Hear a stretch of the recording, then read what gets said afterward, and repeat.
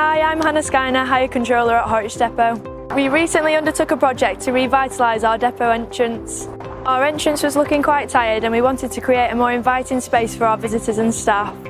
When our group sustainability manager Lex introduced us to the Sustainability and Innovation Fund, we saw a perfect opportunity to make a positive change. Lex guided us through the application process. We worked with a local gardener to ensure our plan was both sustainable and achievable. Thanks to the Sustainability and Innovation Fund, we've not only improved our environmental footprint but brought new life to the depot.